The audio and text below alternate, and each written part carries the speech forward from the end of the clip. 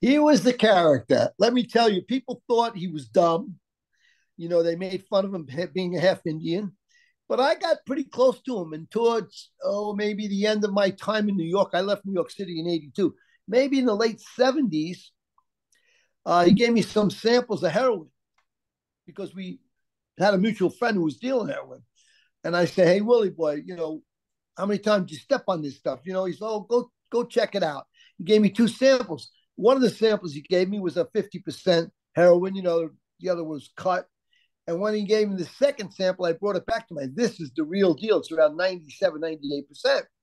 So he knew I had a chemist. And occasionally he'd give me a, a sample. I didn't want anything from him. We were just like friends. I had no clue that he was working undercover for the feds.